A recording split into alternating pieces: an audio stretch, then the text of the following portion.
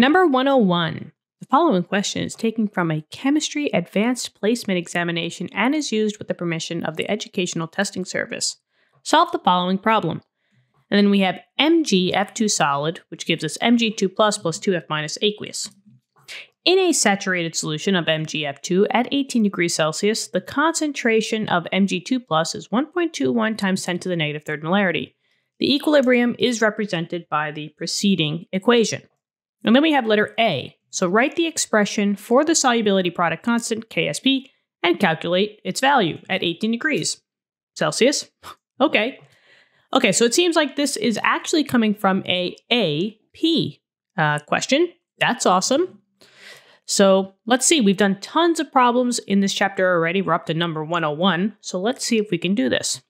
All we need to do for this one is to write the expression for the solubility product KSP. And remember, any K value always comes from the balanced equation. So if I just rewrite this a little bit bigger, we have mg F2, and that's a solid. This comes to equilibrium between mg 2 plus plus, and this is aqueous, plus 2 F minus, and that's also aqueous. Okay, so actually, whoops. Okay, here we go. So, just like any K value, technically it should be products divided by reactants, but since my reactant is a solid, remember solids don't get included into the KSP value. So in this case, my KSP is equal to the two products. And let's see, it's going to be Mg 2 plus times F minus. And since this is raised to the second, or this is 2F minus, it's already balanced for us. I do need to put a 2 up top of the F minus.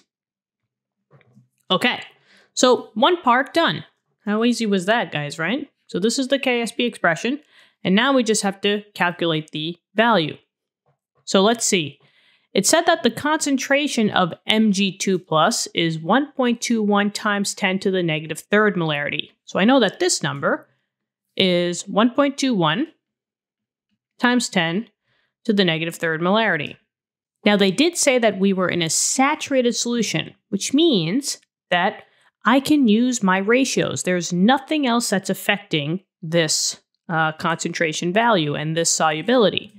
So I do have to look at those those um, coefficients, right? There was one mg for every two F minus. So how are we going to find out the F minus concentration? Well, it's a one to two ratio. So whatever this one's got, this one has twice as much. So I would just have to take this number and times it by 2. 1.2, 1.21 times 10 to the negative third times 2 is 2.42 times 10 to the negative third molarity. And these are your two values that you're going to use to plug in into your equation. So let's go for it. KSP equals, we have the mg 1.21 times 10 to the negative third times 2.42 times 10 to the negative third and that one also has to be squared. Now we could plug this all into the calculator at once. So let's go for it. Let's see if your answer matches mine. So I'm going to do 2.42 times 10 to the negative third. That's squared. And then I'm going to times it by 1.21 times 10 to the negative third. And I guess three sig figs. So I get 7.09. The KSP value is 7.09 um, times 10 to the negative ninth. No, um, no units on a KSP, so it's just a number. And there you go. So we got the expression and we got the actual KSP value. That's it. I really hope this helped. Let me know in the comments. Thank you so much for viewing the video. I think there's a couple more parts, so hang tight. Um, and I'll talk to you in a little bit. In the meantime, if you wouldn't mind, please press the subscribe button. Thank you very much for that. And I will talk to you in a little bit. Okay, bye bye.